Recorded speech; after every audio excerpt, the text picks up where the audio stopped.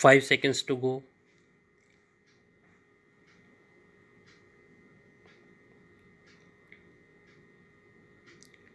start all these appeals arise out of a common judgment dated 24th April 2012 rendered by the designated court for Rajasthan at Ajmer in Tada special case numbers 1, 2 and 3 of 1999.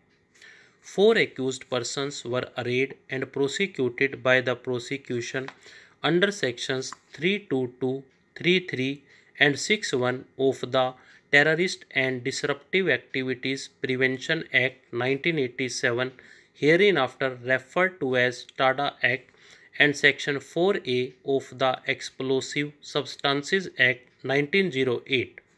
The Tada court has acquitted two accused namely M Jamal Alvi and Habib Ahmad against their acquittal state of Rajasthan has filed appeals which are registered as criminal appeal numbers two four six four two sixty six of two thousand fourteen other two accuse namely Abrar Rahmat Ansari alias Qari and doctor Mohammad Jalees Ansari have been convicted by the Tada court and challenging that conviction, these persons have filed criminal appeal numbers 464 to 466 of 2013.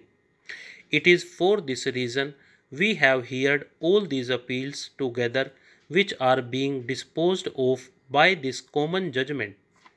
Mr. R.K. Dash, learned senior counsel appearing for the convicted accused persons, submitted at the outset that he would not be going into the merits of the case because of the reason that the prosecution has to fail due to non-compliance of the mandatory requirements of section 20A of the TADA Act. For this reason, we are eschewing any discussion on the merits of the case. Section 20A deals with the cognizance of offence that has to be taken under TADA Act and reads as under. Cognizance of offence. Notwithstanding anything contained in the code, no information about the commission of an offence under this act shall be recorded by the police without the prior approval of the district superintendent of police.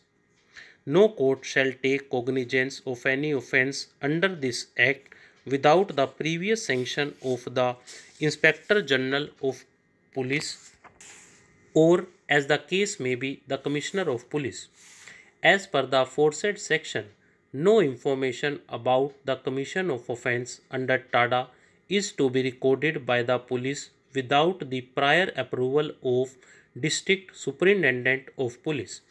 The specific authority which is named under subsection 1 of section 20A is District Superintendent of Police.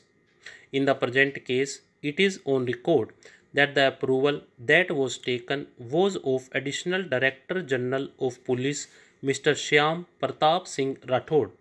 The Tada court has treated the said approval as valid because of the reason that approval is given by an authority which is higher than the district superintendent of police.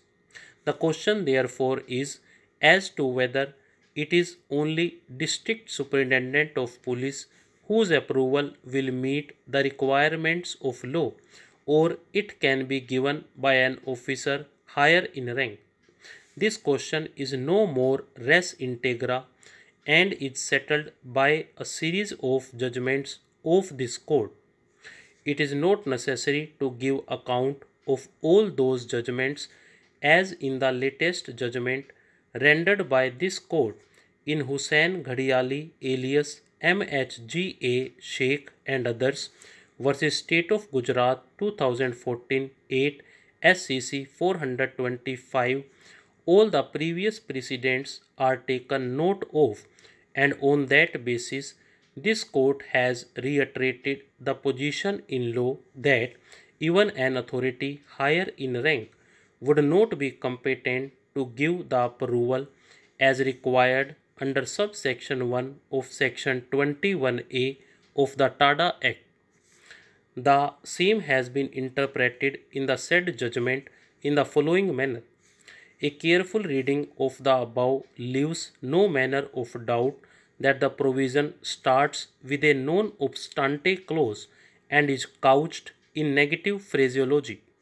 It forbids recording of information about the commission of offences under TADA by the police without the prior approval of the district superintendent of police. The question is whether the power of approval vested in the district superintendent of police could be exercised by the government in the instant case. Stop.